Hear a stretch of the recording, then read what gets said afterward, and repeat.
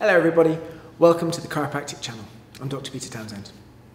Today I'd like to talk about why it's so important to do the exercises as part of your chiropractic or healthcare program.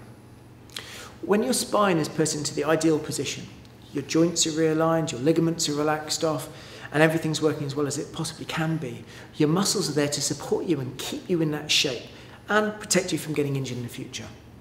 The exercises you're given as part of your routine are critical to making sure you get the fastest possible response and also restore you back to full health.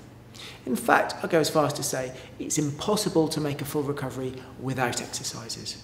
So, when your chiropractor suggests these to you, please make sure you do them. It's not just for their benefit or to make you work harder, it really does help with making sure you get a full recovery and restore back to full health. I hope this helps. Keep going with those exercises and have a good day.